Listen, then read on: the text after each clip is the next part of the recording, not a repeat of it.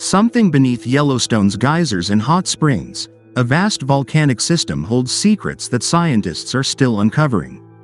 A new study has mapped hidden magma reservoirs, refining what we know about the park's underground heat.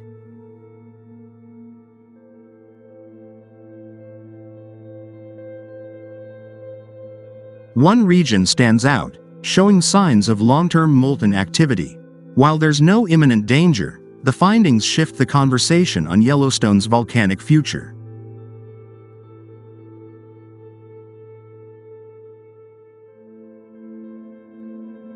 Yellowstone National Park, located primarily in northwestern Wyoming and extending into Montana and Idaho, is home to one of the world's most studied volcanic systems.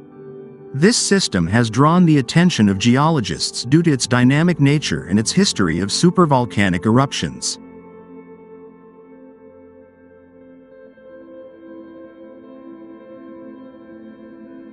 Recent research by the U.S. Geological Survey, USGS, and Oregon State University has provided a more detailed understanding of the magma reservoirs beneath the park.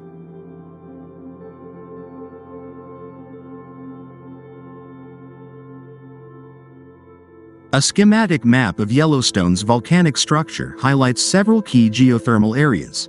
Lower Geyser Basin, Norris Geyser Basin, Hot Springs Basin. These basins are surface indicators of the heat below and align with the mapped locations of magma reservoirs.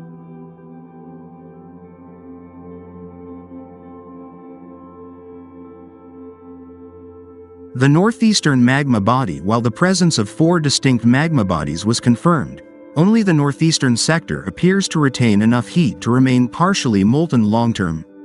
This refines previous models that considered multiple regions as potential future eruption sites.